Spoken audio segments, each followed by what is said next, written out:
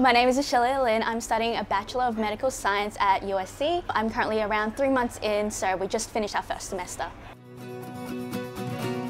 I really liked how USC just eased us into it. It was just nice. It wasn't just like bam and you're like, oh my gosh, I have no idea what I'm doing here. After the first couple of weeks, it becomes more self-directed. They kind of ease off how much help they give you and then you kind of just go on your own and you start studying. Settling into uni has been a really big change, but the lecturers and the environment at uni and all the students, it's been really, really welcoming environment, so I'm enjoying it. Exams, yeah, they went better than expected on one of them. Before the exam, I was like freaking out. I was like, oh my gosh, I, I was like, I can't do this.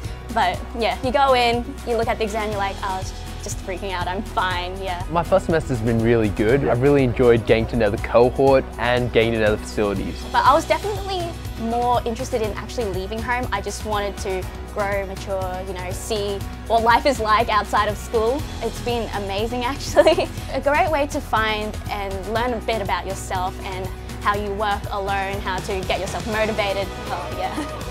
Next semester we have anatomy and physiology, so I'm really looking forward to those because we'll start to learn more about the body, which is why we're doing this course. When leaving year 12, all my mates would say Dr. Bray, and it does sound very good, but I'd love to get to that position where I can be called Dr. Carlos Bray. I'm studying everything that I want to study right now. Nothing, yeah, it can't be better than that. Mum and Dad don't know this, but yeah, I plan to stay at home for as long as I can.